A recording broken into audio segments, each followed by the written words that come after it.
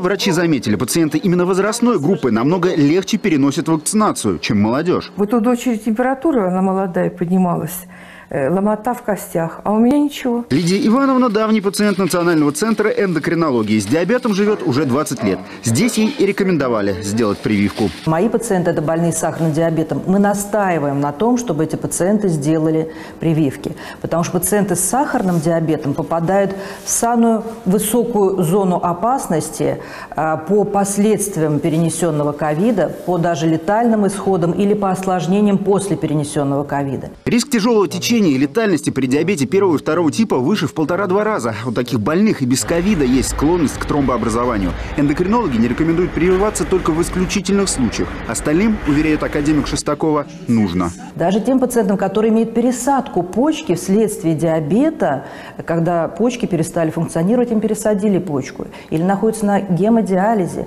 то есть столь тяжелая категория пациентов, они очень уязвимы для ковида, им нельзя болеть ковидом, да, поэтому им надо сделать вакцинацию тоже.